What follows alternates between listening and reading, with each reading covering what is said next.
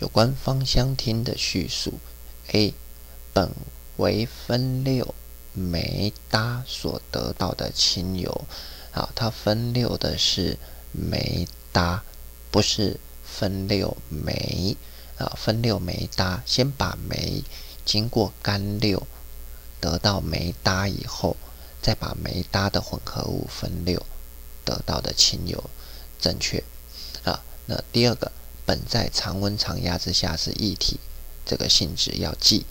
第三个，正极烷在高温下脱氢，可以直接生成苯，正确。啊，正极烷六个碳。啊，六个碳直接变成苯的六个碳，OK，啊，脱掉四个氢，啊，所以 C 选项是得到脱氢得到苯之后，另外会产生四个 H2，啊，四个 H two，啊，那第四个苯跟乙烯，啊，苯跟乙烯本身没有办法反应，啊，也哎。苯没办法从乙烯反应得到，要从乙炔，啊，要从乙炔三个乙炔会得到 C 六 H 六的苯，哈，是乙炔，不是乙烯。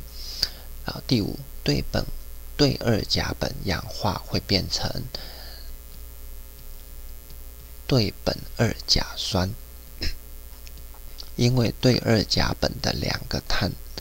都接在苯环上，所以反应之后会变成对苯二甲酸。